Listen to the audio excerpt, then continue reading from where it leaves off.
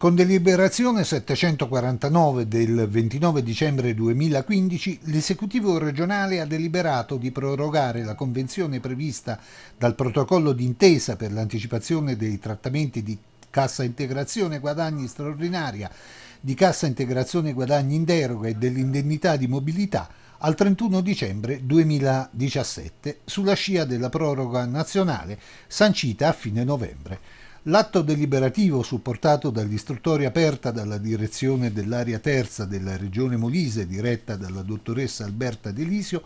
prevede la proroga della convenzione tra regioni e associazione bancaria italiana, così come condivisa dalla Commissione regionale tripartita in data 28 luglio 2014 ed approvata con un atto deliberativo sempre di giunta regionale numero 346 2014 al fine di consentire le erogazioni da parte degli istituti di credito per ridurre i tempi di attesa dei lavoratori aventi diritto a beneficiare delle previste anticipazioni delle integrazioni salariali nelle more del pagamento diretto direttamente dall'INPS. Nella giornata di ieri i referenti regionali dell'Associazione Bancari hanno confermato l'assessorato regionale al lavoro che la commissione regionale dell'associazione ha espresso parere favorevole alla proroga della convenzione ed è in attesa della necessaria formale delibera del comitato esecutivo dell'ABI programmata per il prossimo 20 gennaio. Per questo ai tanti lavoratori che si stanno recando presso gli uffici regionali di competenza